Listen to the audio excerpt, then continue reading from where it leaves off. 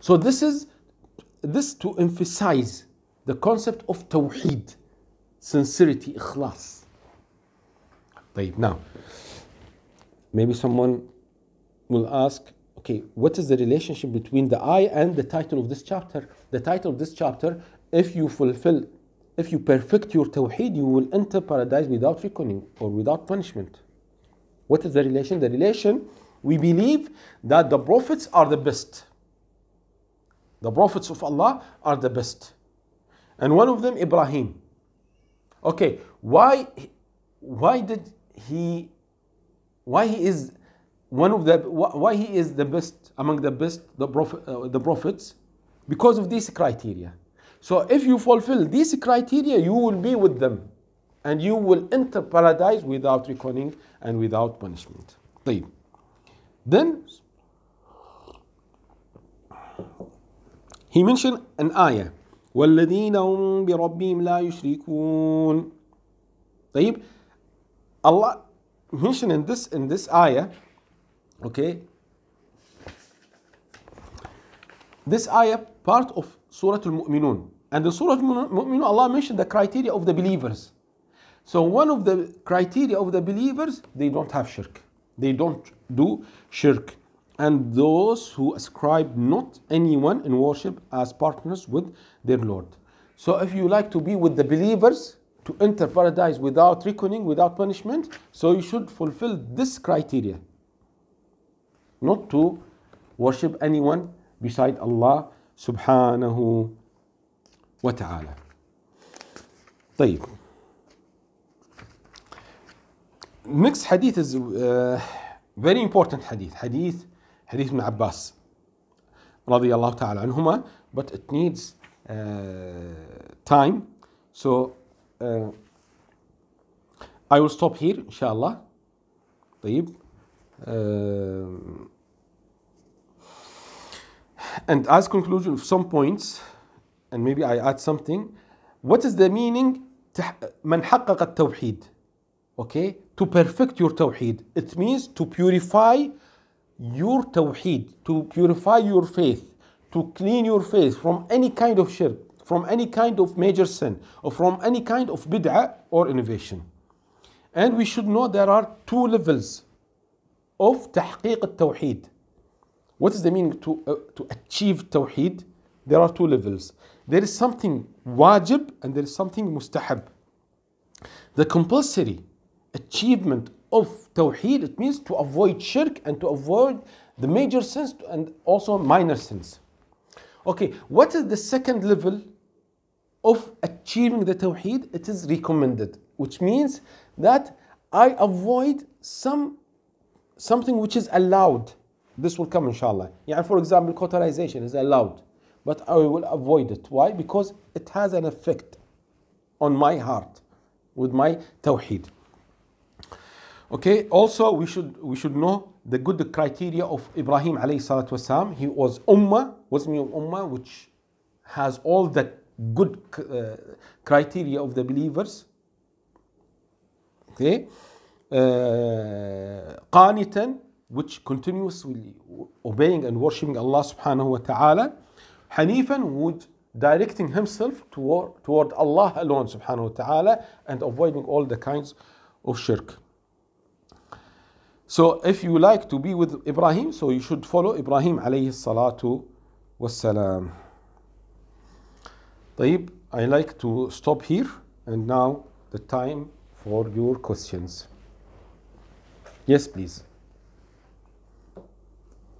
يعني uh, I like to I like to shorten the lecture as much as I can طيب because you know if we are going to make it a course I like to make it shorter شنو هذا those who are seriously interested oh, طيب please read the comment of uh, Sheikh Muhammad Ibrahim طيب any question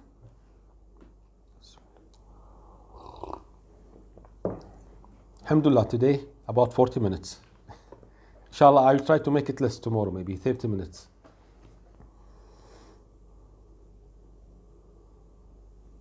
Salman no question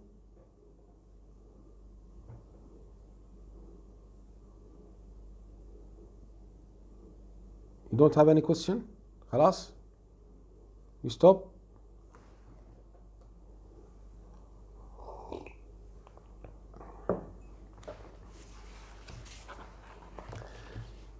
طيب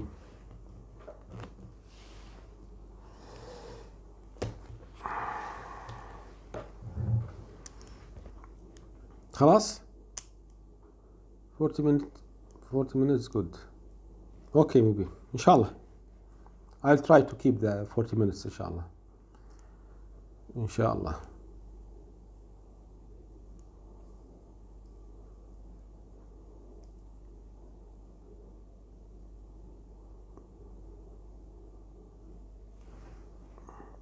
Is it a good news for the sinners who are on Tawheed? I did not uh, understand your question.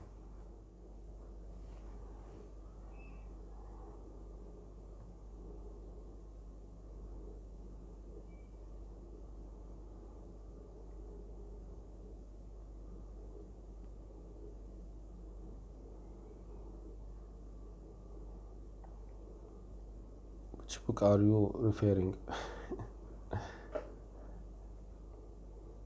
this is, uh, يعني I'm reading the English translation from this book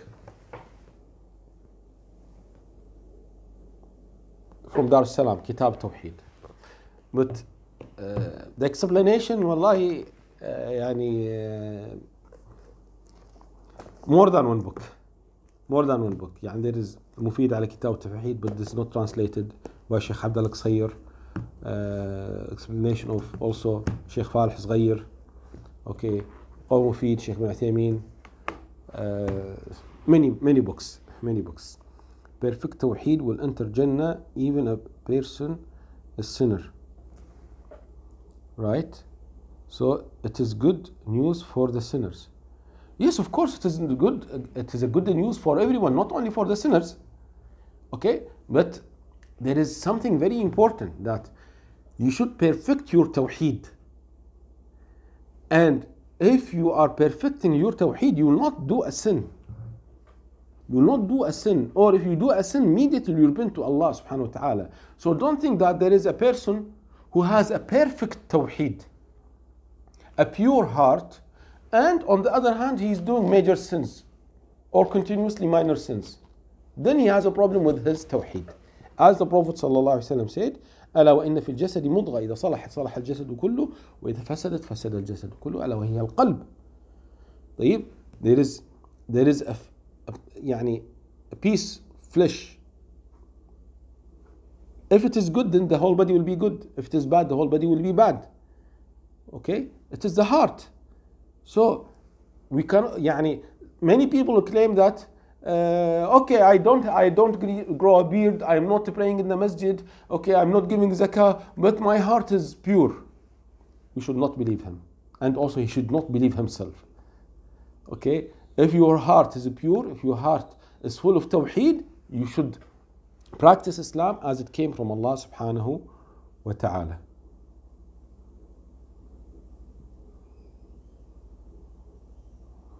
How can a person have a perfect tawheed and sin at the same time? Yes, this is possible. But as I said, يعني, if you have a perfect tawheed, you commit a sin, but immediately you repent to Allah subhanahu wa ta'ala.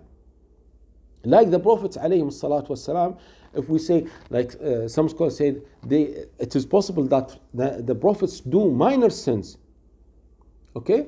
But if you notice that immediately they repent to Allah subhanahu wa ta'ala. When Adam alayhi salatu wasalam ate from the tree, immediately he repent to Allah subhanahu wa ta'ala. Okay? Uh, and the other prophets alayhim salatu wasalam. So, if I have perfect tawheed, it doesn't mean that I don't do sins. Okay? It is possible that I do sins, but immediately I repent to Allah subhanahu wa ta'ala.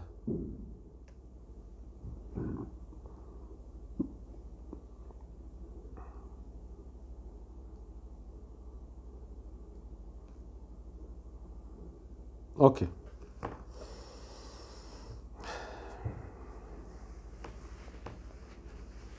تمام حياك الله تنوير الحمد لله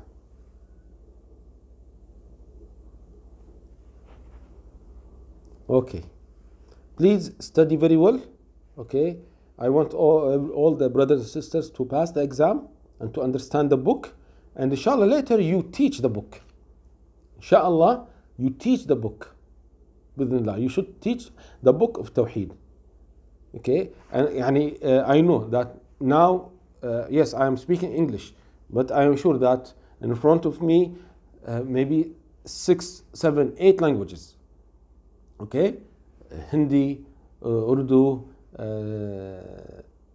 Telugu, Tamili, uh, what else? Thai, uh, Italian, I don't know. Italian, French, no, we don't have French. Uh, Spanish, also, I don't think we have Spanish. So, I think we have maybe six, seven languages from India, طيب, uh, Bangla. Uh, you should teach this knowledge in your language, inshallah. Okay, this is your responsibility. بإذن الله. Okay, Bengali, Urdu, تمام. Marathi or Marathi, Bir- Birai. Inshallah, our aim should be learning and teaching, not only keeping the knowledge to ourselves. Yes, Zakallah khair. Sinhali, good Sinhali. Thai, yes. That's why I mentioned Thai. Punjabi, tamam. MashaAllah, yes, we have many languages. Pakistan is not like Punjabi. Is it the same? طيب Konkani طيب اوكي حجي رفيق جزاك الله خير طيب so wallahi this is this is a responsibility upon you and also this is a favor from Allah subhanahu wa ta'ala that you understand English and you you understand uh, other language to convey the knowledge of Allah subhanahu wa ta'ala uh, the knowledge from the Quran and Sunnah to the others okay so please take this responsibility Punjabi is, uh, is my uh, language okay Pakistan is not Pakistan is not a language okay طيب so please brothers sisters take the responsibility okay if you don't explain يعني maybe you don't do lectures but at least maybe you can translate some book some books some pamphlets or maybe you can translate يعني mashallah I, I can see now some some videos short videos maybe one minute two minutes five minutes mashallah some people translate the sheikh is speaking Arabic and they translate German language, uh, Indian language, uh, English language. Okay, this is a very good chance, especially nowadays. Okay, people are very weak. Okay, you, they need iman because you, you, you can notice now many people don't trust their governments because they, they discover that our government, I don't mean here Kuwait government, I, I mean some other governments outside in some countries, they found that their gov- governments are not serving them during the problem of corona. They are serving them when they are getting money from them. But if you are not paying me taxes, if you are not working, I will not serve you, I will not provide any health care for you. So people now will trust Allah subhanahu wa ta'ala and it is good chance to invite them to Islam. Okay, Jazakum Allah khair, brothers and sisters. Please remember the Muslim Ummah in your dua. Make dua for yourself, make dua for your family, make dua for the Muslim Ummah, make dua also for the non Muslims to guide them to Islam and also to cure uh, them. طيب, and also take a good chance to read Quran, memorize Quran, learn Islam, translate to your language, help the others, okay? And also please invite the others to uh, this lecture.